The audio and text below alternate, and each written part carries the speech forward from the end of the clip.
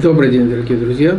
Добрый день, уважаемые радиослушатели, телезрители. Мы находимся в центре Сангейтс. Меня зовут Майкл Мелик. Сегодня суббота. Ну, и мне хотелось бы закончить э, цикл передач. На самом деле это была одна передача, одна программа, посвященная субботе – Суббота – это у нас день Сатурна. Я напомню, то есть, э, что можно делать, что нельзя делать. Э, цвета Сатурна – это черный, темно-синий, это серый цвет, э, темно-фиолетовый цвет. Ну, как видите, я, так сказать, соответствую свету этого дня. Ну и камень Сатурна – это синий сапфир. Одно предостережение для тех, э, в основном женщин, которые любят украшения. И очень неблагоприятно носить драгоценности, в данном случае кольца, а, как бы это красиво не было, скажем так, а, бриллиант, окруженный сапфирами, или сапфир, окруженный бриллиантами. То есть сочетание одного камня и другого драгоценного камня э, в одном кольце или кулоне, это не годится. Это прямая угроза, особенно если носить его на, как обручальное, скажем, кольцо, даже если это не на этом пальце, то есть это прямая угроза может быть даже и браку. Ну и здоровью. То есть потихонечку, медленно все это дело разрушает. Мы об этом говорили в прошлой передаче. Самое, что можно носить, это возможно аметист, это возможно стальное на эм, пальце Сатурна. Если мы посмотрим, то от пальца Сатурна идет вниз линия вниз линия. Если перерезанные линии, ну, они делят ладонь на две части.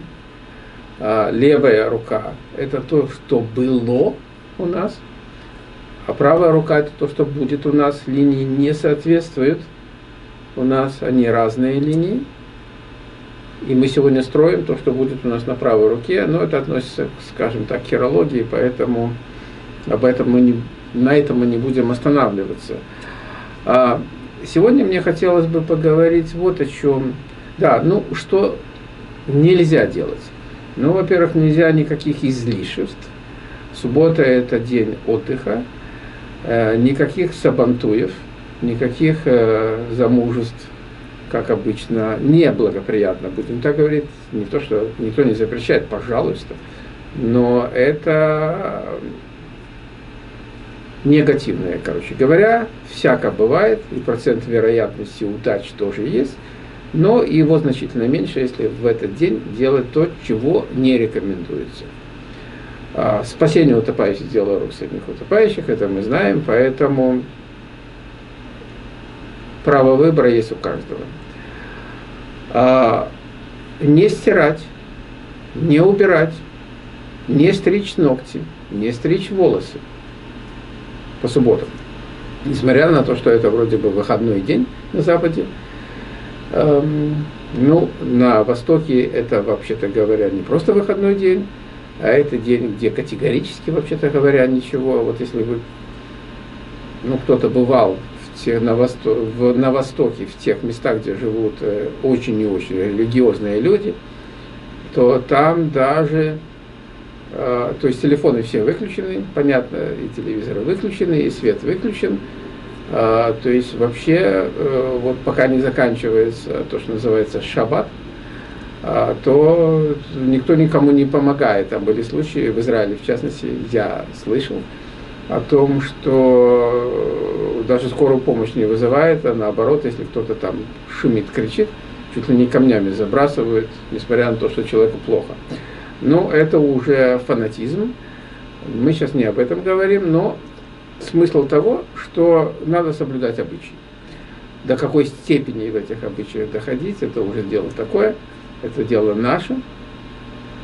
Но вот то, что не рекомендуется делать. Единственное, что можно делать, что самое удивительное и интересное, это делать, заниматься real estate, то есть недвижимостью. Почему? Потому что как раз-таки Сатурн покровительствует э, Земле. Что можно сказать по этому поводу Сатурна? Ну вот, скажем, прямая такая ссылка может быть, как э, когда-то был такой Алексей Стаханов, э, и Алексей Стаханов, который благодаря там, во имя чего было такое стахановское движение. То есть это долбить, э, добывать угол, уголь на гора, и как можно больше. Самое интересное, Стаханов абсолютно не был рожден под, под планетой Сатурн, то есть он, вообще-то говоря, Юпитер, что он, в общем-то, и доказал, когда принес, скажем, вот такую методику э, разделения труда.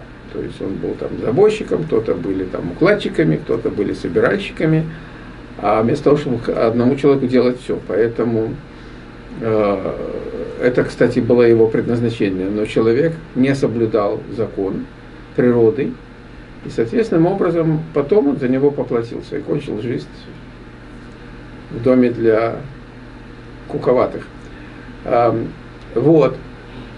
Э, сегодня мы поговорим, наверное, большей части про тех людей, которые родились под планетой Сатурн, и пару мантр, наверное. Так.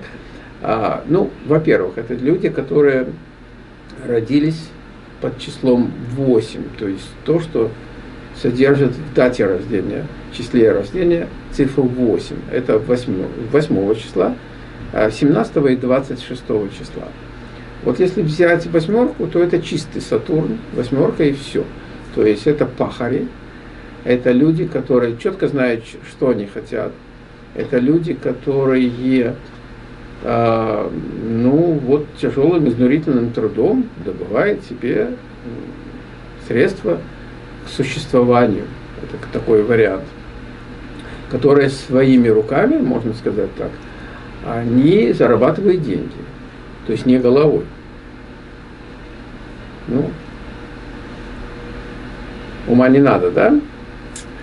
Эм, люди, которые родились 17 числа, здесь есть нюансы. Почему? Потому что э, восьмерка это главное число, но две второстепенные цифры. Два числа, единица и семерка. Единица это Солнце, семерка это планета Кету. Это ну, Нептун планета в западной астрологии, южный узел Луны э, в восточной астрологии. И это люди, которые либо сами очень подозрительные, это люди, которые не хотят менять свое мнение, которое у них где-то как-то сложилось. Это люди, которые все-таки э, имеют творческий потенциал, они могут э, быть очень интуитивные.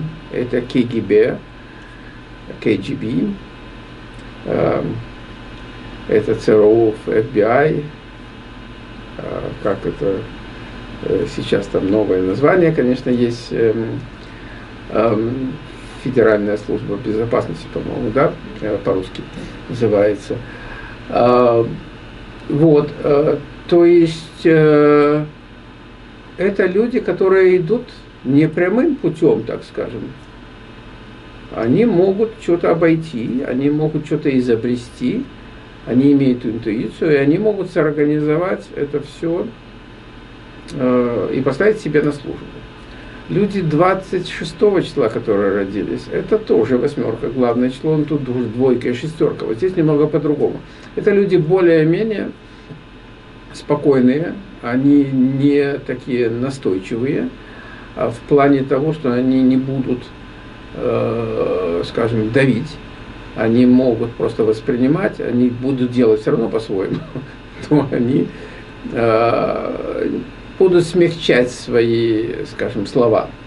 Вот. А шестерка это люди, которые еще имеют ну, склонность э, к творчеству, во-первых, То есть это не рутинная, не планомерная, не планомерная работа куда-то для достижения своей цели, а это какой-то элемент творчества. Более того, они еще понимают, ну, красоту, будем так говорить, и они вносят а, в свою работу а, вот этот вот элемент э, не только творчества, но еще и красоты. Должно быть все очень красиво сделано.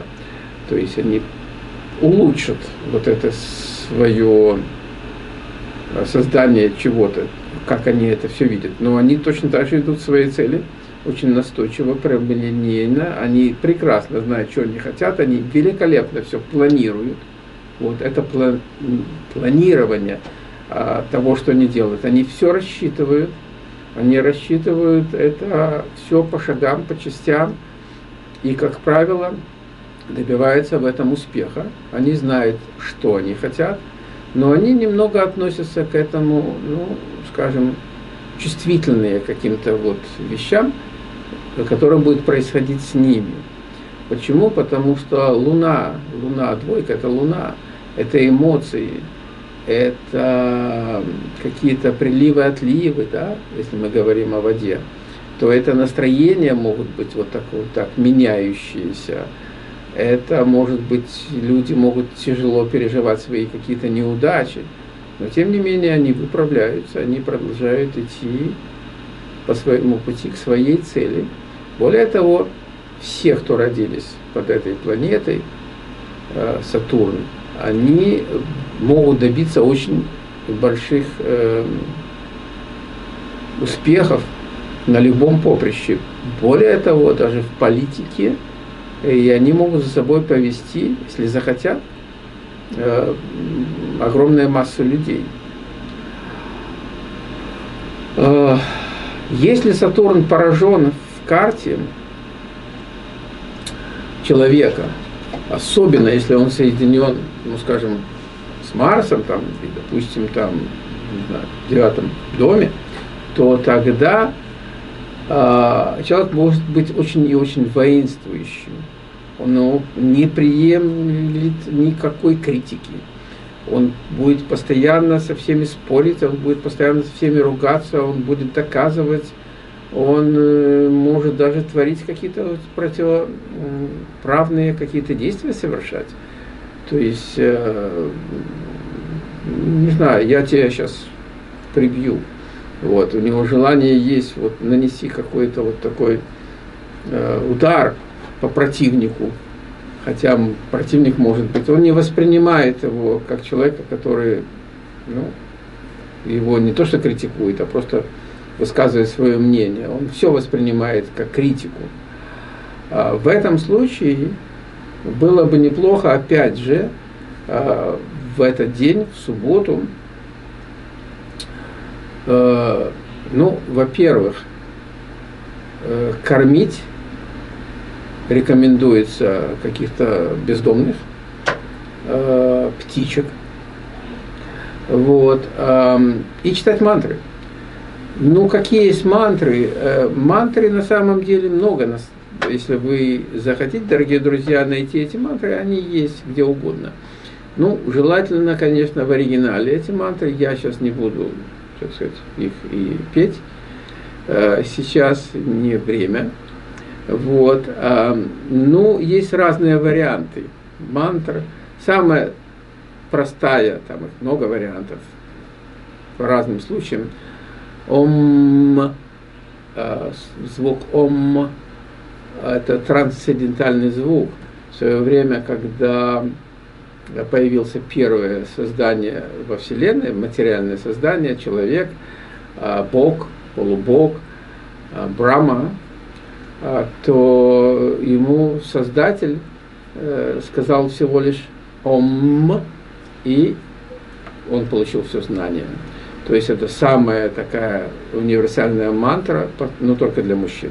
Так вот, Ом Шанти, Шанти, Шанти. Самая простая мантра. А, вообще мантры надо повторять Сатурну а, 108 раз. И другие тоже, но вот в частности Сатурну. 108 раз, 1080 раз, 10 800, 108 тысяч – Ну и, в общем-то, достаточно много этих, надо раз повторить мантру в течение определенного времени для того, чтобы ну, как-то а, неблагоприятное влияние Сатурна на нас нейтрализовать. А, следующая мантра может быть эм, такая. Эм, Ом намо Бхагавате Курмадевая. Эм, наш хороший друг Рами Блэкт, кстати, который будет у нас выступать э, на радио в мае месяце, я с ним уже как бы договорился. Э, он очень хорошо описывает э, в одной из своих книг, в главе, которая посвящена именно Сатурну. По-моему, книга называется «Как договориться со Вселенной», вы можете ее найти. Я не уверен, можно ли ее где-то скачать в электронном варианте. Но вот там есть, там описываются эти мантры. А, что еще, эм, какая еще мантра может быть? Эм,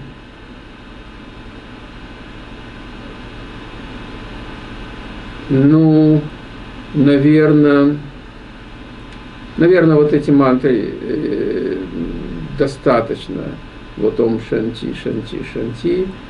Э, вторая мантра – это Ом Намо Бхагавате Э, Курмадевая. А есть еще мантры, наверное, ну, достаточно этого. А что еще хотелось бы сказать?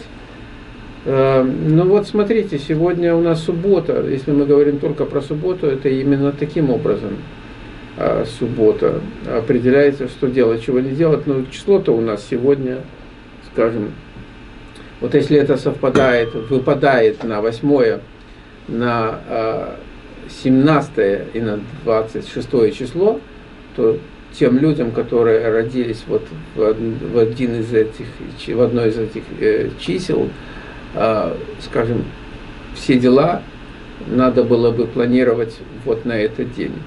Еще раз, дела, которые не связаны с тем, о чем говорила в самом начале. Э, ну, наверное, все, дорогие друзья, на этом. Это будут, э, ну, наверное, заключительная, э, скажем, такая передача небольшая, посвященная Сатурну как личности. Эм, есть такой очень известный человек, чех, фамилия его Свобода. А, ну, на самом деле он американец, ну, проживает очень давно в Америке. И он написал несколько книг «Величие Сатурна». Любопытно было бы почитать, я мог бы порекомендовать. Единственное, там, конечно, очень жестко все описывается, очень жестко. Сатурн – это очень серьезная личность и достаточно серьезная планета. Это, это вот надо было бы иметь в виду. Но, тем не менее, всем сатурнианцам и не сатурнианцам – я хотел пожелать успехов, здоровья и дальнейшего продвижения, познания самих себя, своего «я». Ну и если у вас будут, друзья, вопросы, комментарии, замечания, оставляйте. Э, все передачи записываются, выкладываются в YouTube, Facebook. Мы находимся в центре Сангейтс, Сангейтс Радио. Меня зовут Майкл Мелехов. Всем удачи. Спасибо.